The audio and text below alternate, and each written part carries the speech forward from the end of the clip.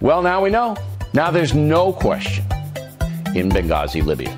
So the truth is that's a scandal in Benghazi, Libya. A scandal to protect President Barack Obama in Benghazi, Libya.